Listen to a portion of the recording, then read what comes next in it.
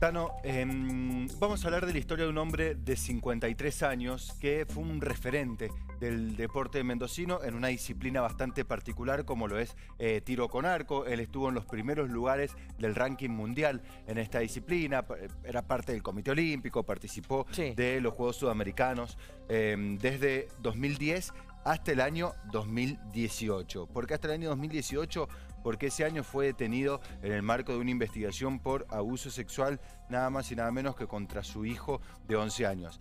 Obviamente no vamos a ver la identidad de esta persona, de hecho pixelamos su rostro, sobre todo para resguardar la identidad de la víctima, que es su hijo, básicamente. Em, esto nace en una denuncia en 2018 que hace la expareja de este hombre y madre del menor, menor que tenía 11 años por entonces, donde dice básicamente que su hijo le había confesado que había sufrido abusos sexuales por parte de su padre. El menor declara en el marco de la investigación, lo hace mediante una cámara Gesell y ratifica esta versión y em, este hombre va a un primer juicio que se realiza eh, a mediados del año 2020, donde es encontrado culpable. Lo condenan a 15 eh, años de prisión por el abuso sexual con acceso carnal y, gravemente ultrajante, agravado por el vínculo, porque la víctima es su hijo. Él estaba, estuvo detenido todo ese tiempo, se encontraba en prisión domiciliaria al momento del juicio, pero surge la particularidad con esta causa de que la defensa apela el fallo, va a la Corte Suprema de Justicia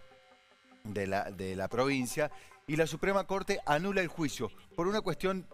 técnica legal, básicamente, por un error en la calificación eh, legal, así que ordena realizar un nuevo juicio. En ese marco ya pasaban casi cuatro años desde que este hombre estaba detenido sin condena firme, por lo cual él recupera su libertad. Y en los últimos meses se realizó un segundo juicio, tal como ordenó la Suprema Corte, segundo juicio que finalizó en los últimos días y en el cual volvió a ser condenado a una pena un poquito menor de 13 años de cárcel, pero bueno, fue encontrado culpable, en fin. Este hombre va a continuar eh, libre eh, hasta que quede esta condena firme. Seguramente la defensa va a apelar, va, esto va a volver a ir a la Corte de la provincia y probablemente luego a la Corte de la Nación, así que es un proceso bastante engorroso, bastante largo, pero lo cierto es que en este segundo juicio este hombre volvió a escuchar cómo un tribunal lo encontraba y lo declaraba culpable de haber abusado sexualmente a su hijo de 11 años.